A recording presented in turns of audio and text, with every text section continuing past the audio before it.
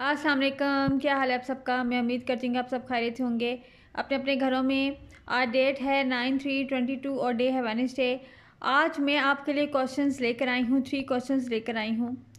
तो चलें जी, सबसे पहले स्टार्ट करते हैं क्वेश्चन फोर को। क्वेश्चन फोर है जी what are sky letters sky letters क्या हैं? जी स्काई लेटर्स होते हैं।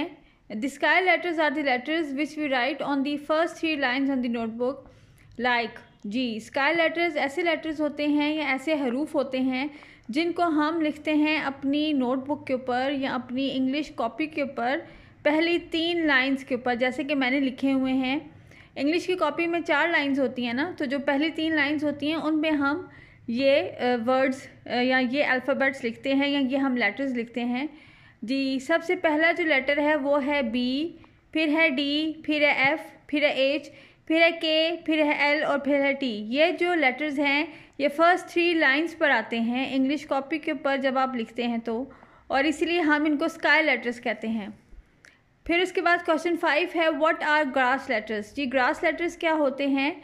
The grass letters are the letters which we write on the middle of the two lines on the notebook like हम जो हमारी जो नोटबुक होती है, हम उसमें जो ग्रास लेटर्स होते हैं, हम उन्हें जो बीच वाली लाइन होती है, उस पर लिखते हैं।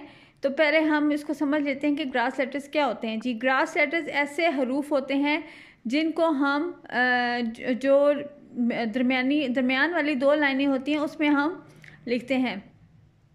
जैसे कि है A, C, E, I, M, N, O, R U V W X और जी ये जो हैं, ये हम मिडिल वाली जो टू लाइंस होती हैं इंग्लिश की कॉपी के ऊपर, उसमें हम लिखते हैं।